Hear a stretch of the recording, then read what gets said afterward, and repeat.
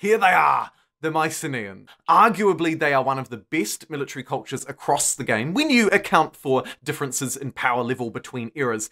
Their unique district is so powerful, their unique unit is unlocked so early, and their overall trait is actually very useful in training quick, strong units. Let's jump straight into the Mycenaeans. So, when we think about the early game humankind, we think about the Egyptians and the Harappans. And in particular, the Egyptians are undoubtedly the best culture because industry is everything.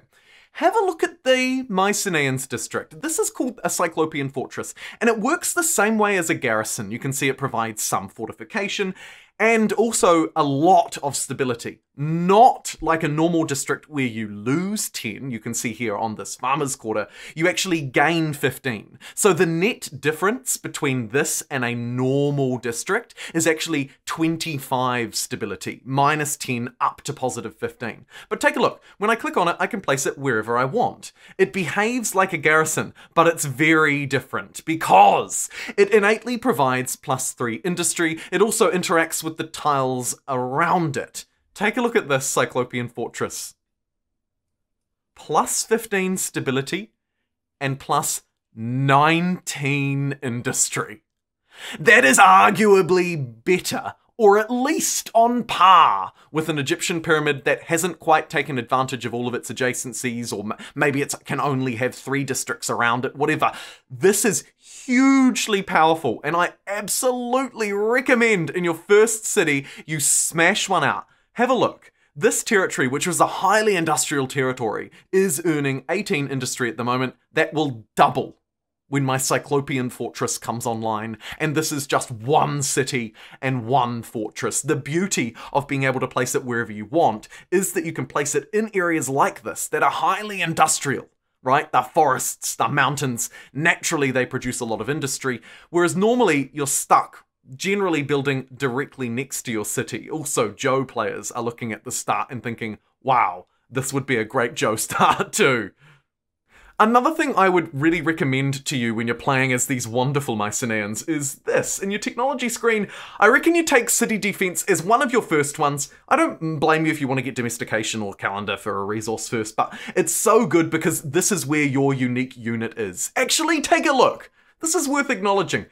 One of the very first technologies, in fact, it is literally first if you want it to be, provides you with this your unique unit. It's like the warrior, but it's stronger, and it has this crucial champion ability which makes it stronger when attacking in the first round of battle. A great interesting addition that makes this really like the normal warrior but on steroids.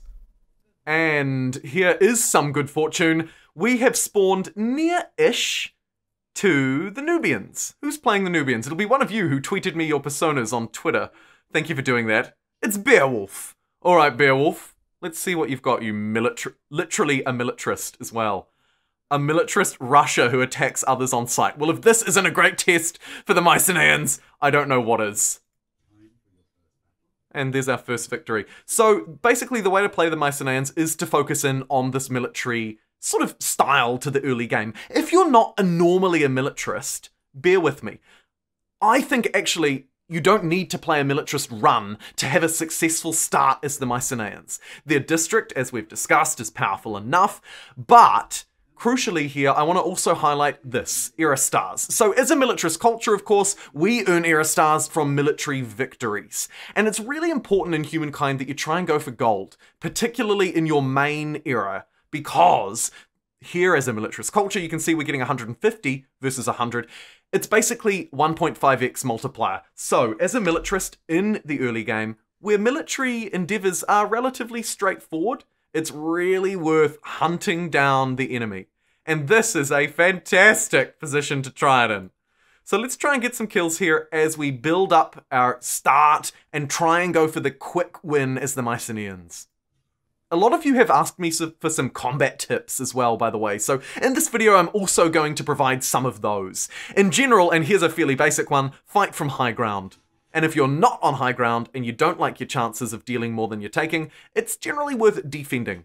I'm going to move now into this forest and push the aggression on this flag. I'm actually going to give up my high ground because it's a 2v1. I feel like I can take them out here.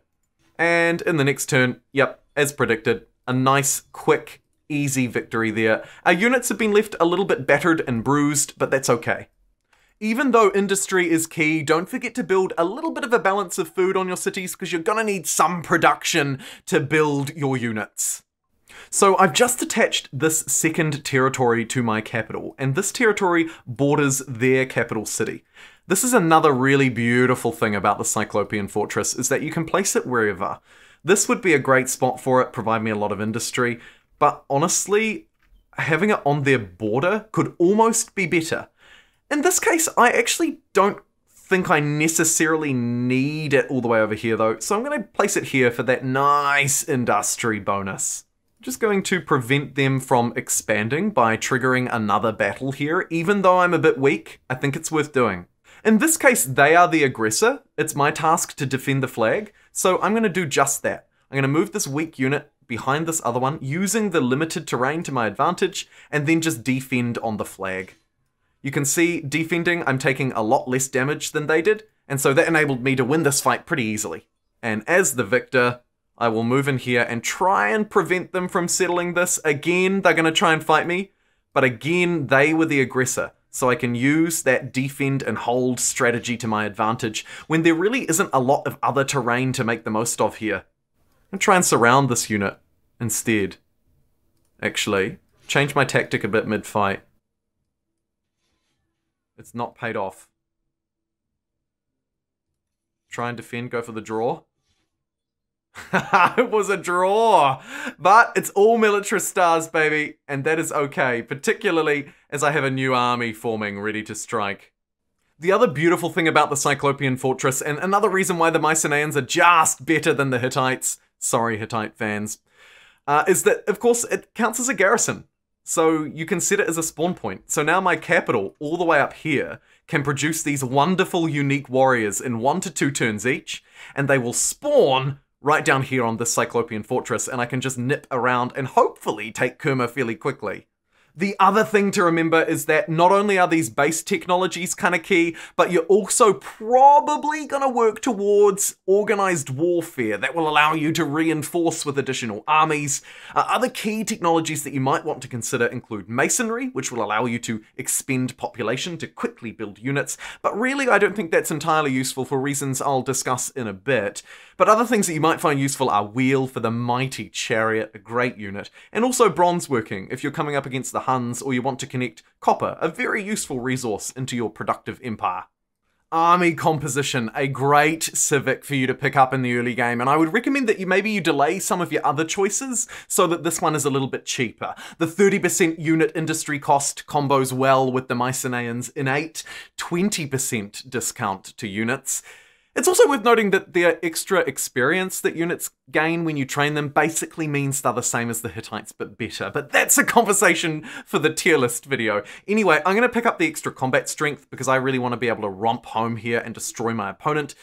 And honestly, I think I'm ready to do that. So let's test out the Mycenaeans and see how well they go in practice. I'm sorry, Beowulf, but you're going to have to be my test dummy. We're both militarists, really, or we've both got high war support. Let's see how we fare. So I've got a, a really a strong regiment of my four unique warriors here. They are promoted quite a bit, uh, innately, and thanks to the Mycenaeans trait. Let us... Oh, they just do not want a bar of it. Fantastic. Let's pursue that aggression and maybe also send these units up this way. The other thing that's important to note here, not only as a militarist culture are we earning our crucial stars through military victories, but also as a militarist culture we could use this. And I'm going to use it here for the purpose of this video to show you just how strong it can be. If your city has at least four populations, which my one does, you can go over here to the left and use the Iron Reserves ability. This is the thing that is naturally triggered in humankind when someone goes to war with your city and the peasants come out to defend it, you know, your peasant units. They're not great. You can see they only have 13 combat strength. But sometimes strength comes in numbers. So I'm going to use it. You can see it's added to my agrarian star, which is really weird because it was the same four pops, just shifted from a city into units. Either way, it's free stars, another benefit of playing as the Mycenaeans, and of course, they spawn on my city spawn. uh, garrison. So they actually appear down here, ready to fight immediately. However, I've got another task for them. I want them to go and take this city here, while I take this city down here with my uniques. So that's exactly what I'm going to do. I said that I would give you some combat tips throughout this video as well, and one really big one is if you're planning on sieging a city and there are units outside the city that won't trigger the siege itself, not like these ones, then it can be beneficial to fight them off first. So I'm going to do that Honestly, we are almost so overpowered thanks to our early unlock of this unit, thanks to our free experience that our units get, that really I can probably play this on auto-resolve. In general, it would be best to wait outside the walls, to hold high ground, but in this case we can actually just overwhelm them with our sheer power of being a militarist, of having our unique unit, and having the numbers to do it. Take a look at that victory. We didn't even take a single loss on auto resolve. What the heck? Here we have Red Ragtag Army number two. These guys don't actually have any of my uniques, but just through sheer numbers and through using the militarist ability early. And this is really when it's at its strongest, right? The militarist ability is at its strongest in humankind when you are rallying these units early because they're bad units, but you win by numbers. You are playing the numbers game with these guys. I'm going to end round to defend and just see what kind of damage that they can do against my crappy units. So you can see that they're doing more than I'm dealing. And that's a, that's a concern, right? That is a real concern. So what we're going to have to do is try and overwhelm them with numbers, as I say. Try and get the high ground as well where we can. This makes sense. See, it's a slightly more favorable attack. You can see it's fairly even, whereas when I attacked from the lower ground, not as good. Uh, when your units get a little bit weaker though, it can be worth just defending. It's about basically a trade-off here. Every unit that you destroy is one less attack that you'll take next time.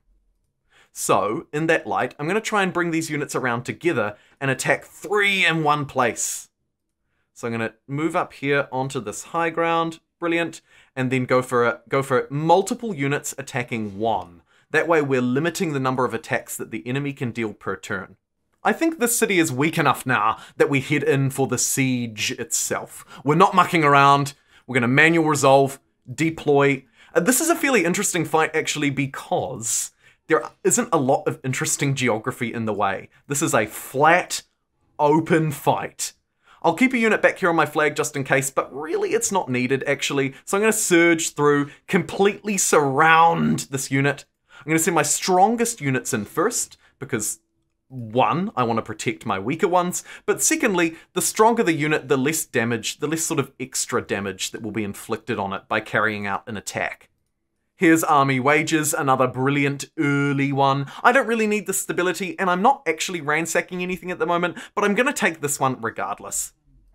Back to this siege where we're not favoured to win, and you can see I'm just repositioning my troops here into a position that I think is going to be most beneficial for them. We're now dealing nearly equal attacks. Again, I'm going to try and 3v1. I don't have power, but I do have the numbers. So let's see if we can do it. Brilliant. This unit has stepped in place of the other one, which has opened up their flag. You can see here it's round three of three. This is the round where flags matter, so I'm going to move my unit onto their flag and defend, giving me the best chance of survival. I'm going to stab here because they're unlikely to attack this one because they're probably going to try and defend the flag. And if I can make this unit as weak as possible, I can make it less likely to deal any meaningful damage to my unit on their flag. End the round, and as you can see, Victory was ours, even though we didn't destroy all the peasants. We outpaced them, we outplayed them, and we used our militarist ability to effectively hoover up the city for free. Over here in the same turn. How devastating. Our proper professional trained army has no issues fighting at Kerma. And now let's head in for the final siege against their capital. Again, I'm just using the pure strength of my unique Mycenaean unit. And just to reiterate, it's not the fact that it's just cheap and it replaces the warrior. It's not the fact that, as the Mycenaeans, you start with 25 extra experience, which basically gives you one extra combat strength. It's not even the fact that you can utilize the early game mechanics It's the fact that the Mycenaeans' unique district enables you to do this. It's powerful, it provides industry, it acts as a spawn point, you can place it where you want, and it keeps your city stable.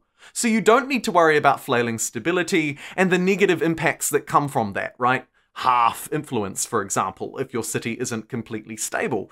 You can instead focus on what counts, building up quick military units, taking quick victories against your opponents, and ultimately, hopefully, also capturing some cities in the process. That makes investing in military units even more worthwhile because you're not giving up any infrastructure at all. You end up being the complete victor of every fight. Look at this. Have you ever seen a greater loss of war support in humankind history other than a nuke, which actually weirdly does the opposite? I doubt it.